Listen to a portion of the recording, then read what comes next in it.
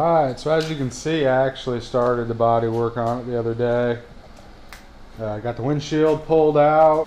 Uh, tonight, I think I'm to work mainly on the trunk here. Right now, as you can see outside, it, there's snow on the ground and it's like 25 degrees, so I'm not going to be able to paint the whole top of the car, but I might be able to get by with doing the trunk. Uh, yeah, I've been doing body work for probably about three and a half years professionally. Um, and then I did it kind of on the side for I probably have seven, eight years into it total right now. But I'd consider myself professional body guy, but definitely not a professional painter.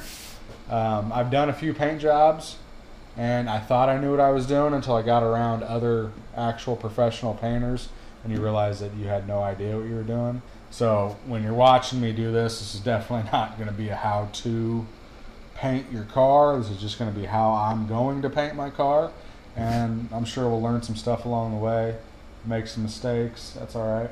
I've made quite a few mistakes in my day, so I'm prepared for that.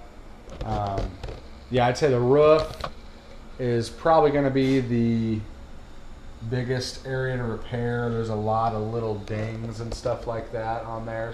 Looks like some hail damage. Um, the hood I got pretty well smoothed out already. But there is a lot of areas I need to prime. Um, there was big damage right here from, it looked like from somebody shoving the hood down to get it to close.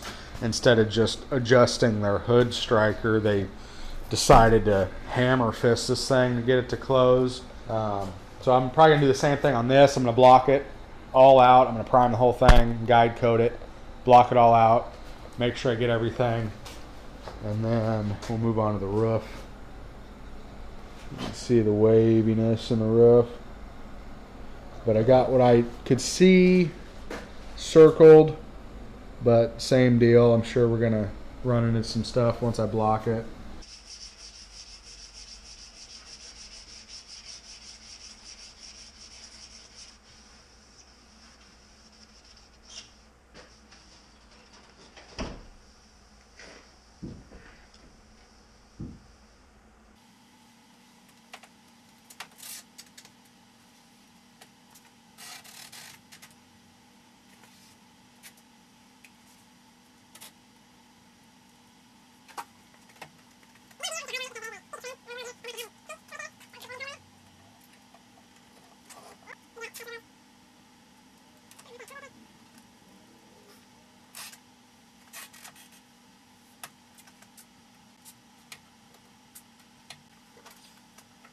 Dust off my old masking machine. This thing gets uh, gets used every once in a while, um, but not as often as it used to. Like I said, I at one point I thought I knew how to paint cars, so I bought all this stuff to paint cars, and I did it a lot on the side. And every one of them, I mean, they turned out okay, but not as good as you'd hope. But I try to keep the prices really low so I could get a lot of experience in. Problem is, whenever I would have an issue with a paint job, I was just by myself in my garage. I wouldn't know what to do to correct the issue. And I mean, you can get online all you want and try to research it and do that, but you you can only get so far with the knowledge that you have. And if you're not working next to an actual professional, I'm around a lot of professional painters, but uh, in the positions that I've been in, the shops that I've been in, the painters have done all their own. There's been a specific painter. The body guys do all the body work, and then it goes over to the painter. So I've never had to do any like combo work. Uh, but I would like to learn how to do it professionally. Masked off as good as it's going to get. I got some primer and the gun over there. And uh, yeah, put a few coats in this thing. Hopefully I still know how to pull the trigger on a paint gun. We'll see. Got a little bit of residue there, but I think it'll be okay. Don't touch it after you wax and grease remove it, right? Alright, let's go.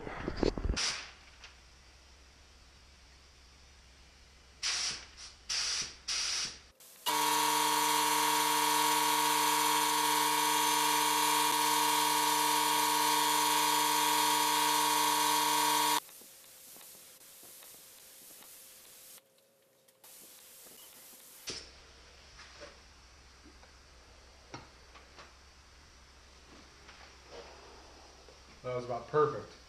I ran out of one coat. So now I know how much I gotta mix up to do two more coats. Third coat.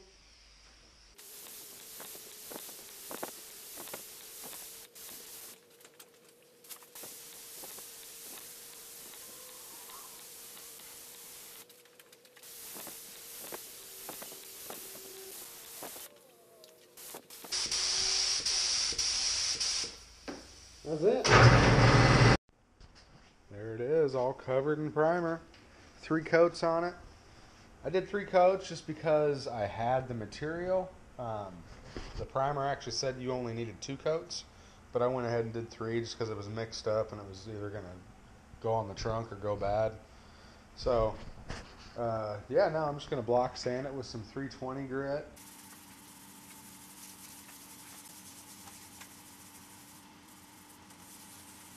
Car um, is getting ready for primer on the hood and the header panel here. Um, we got everything scuffed, got it uh, dusted off, used wax and grease remover last night. So I'm going to go ahead and go over it again with wax and grease remover just to make sure everything's clean since it has sat overnight. And then I'll mix up some primer and get ready to spray the sun.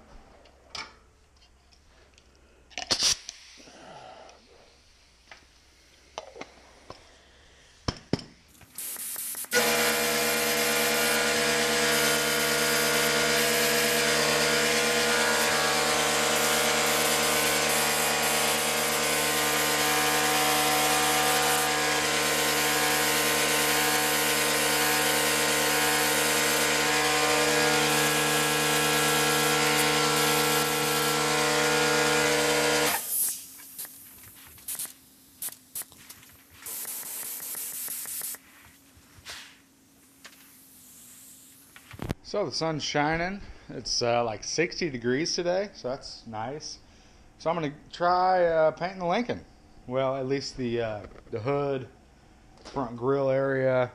I'm actually gonna be painting this piece of the grill also, the same color, and then painting the the trunk.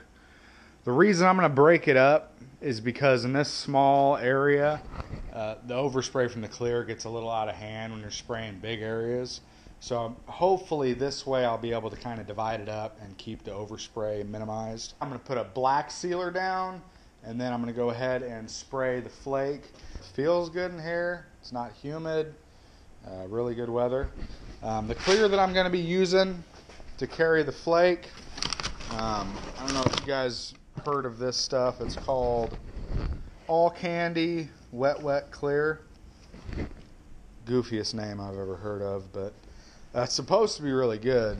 Um, it's four to one. It says to spray it at 40 psi, which sounds a little high to me, but I'll give it a shot, see what it does. Um, supposed to be a no buff, uh, no shrink clear coat. So a lot of people can claim that, but we'll see.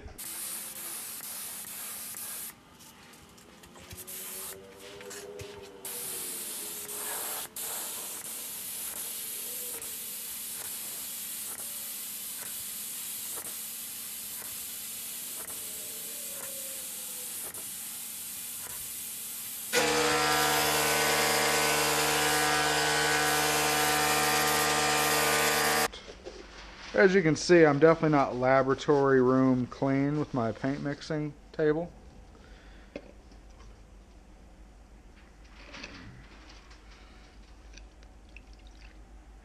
With how much flake I actually put in here, I'm going to shoot for an ounce. It's been about 15 minutes since I sprayed the sealer on there. Oh, probably more like 20.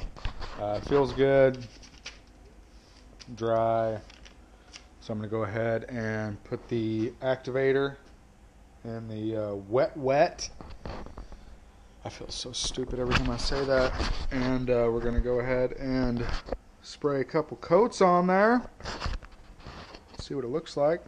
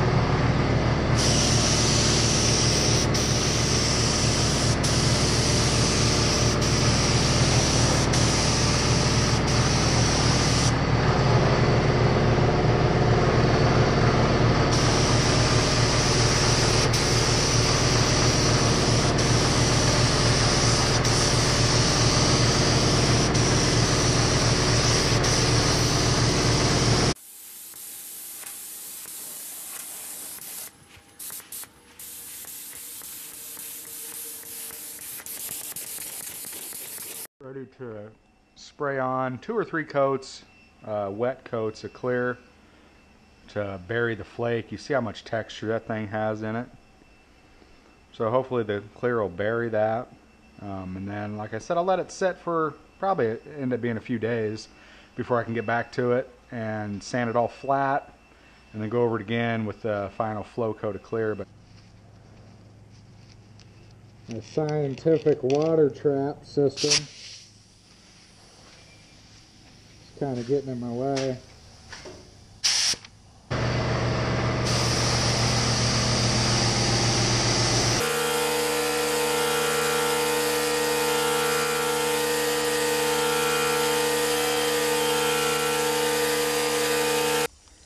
Um, so far I've used two quarts of clear. That's um, I use that for the flake carrier also, so I'd say a solid quart of it was just for that. Um, so yeah, hopefully this is enough.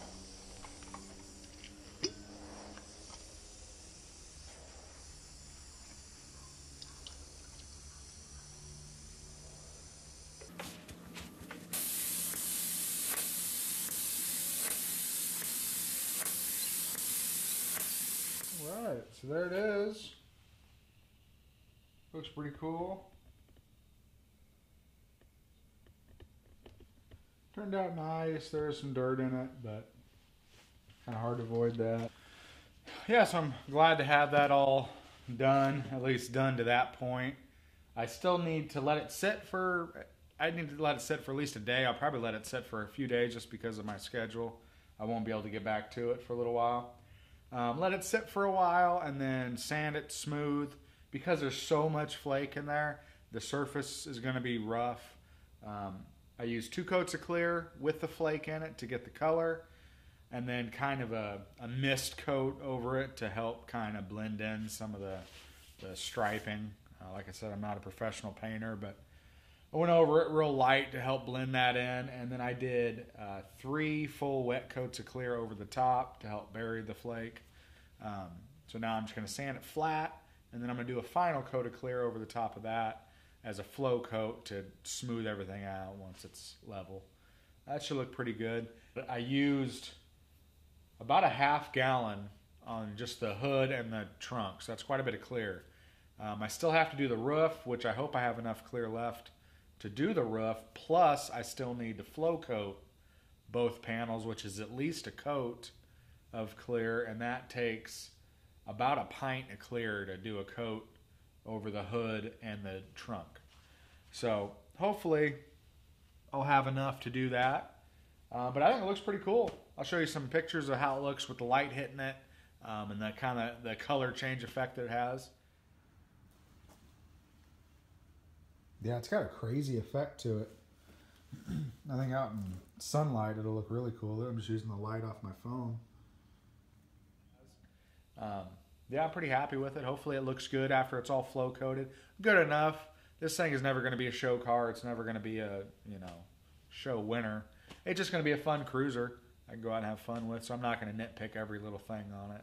I'm just going to enjoy the car. Um, I did the grill. The center of the grill is going to be that dark green and the border I'm going to do a gold holographic flake. Um, so that should look pretty cool since my wheels have the gold centers.